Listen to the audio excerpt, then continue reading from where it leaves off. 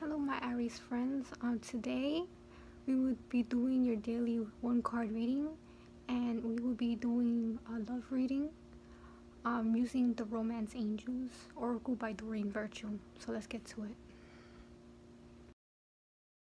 Okay, so the card that we got for you today is Release Your Ex. You can see. Here it says the time has come to clear your energy basically um what this card means is that you may be dwelling on a past partner and um, it's affecting um, the energy that you're receiving at this time. And it also means that you're not attracting new patterns or a new better partner. Like you're just going to attract the same thing. So um, yeah, you may be carrying around residual patterns and habits um, that you may have had when you was together with someone and it's affecting how you're operating in the present. Okay? Um, it says here,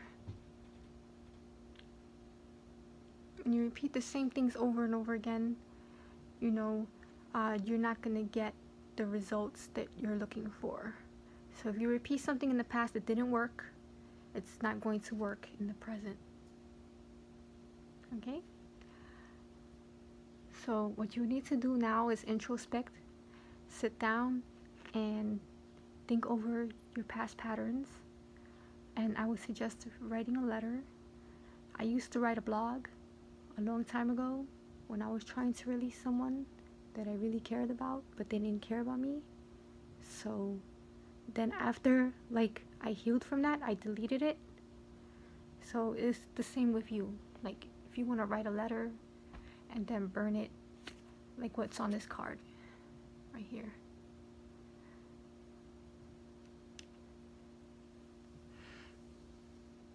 Yeah, because um, if you stay in the same pattern or maybe perhaps the partner that you had in the past was an abusive partner, um, you're just going to attract the same kind of partners. So you really don't want that in your life because then what happens is, right, they screw you over, you end up having to clean up the mess. And then that just leads to a low quality kind of life. Okay? So we do not want that. So it's good that you like look into your psyche and your subconscious. You sit back and you meditate and you kind of release those negative past patterns. Okay? So this was your reading. Um, if you like this video press like if you'd like to hear more from me.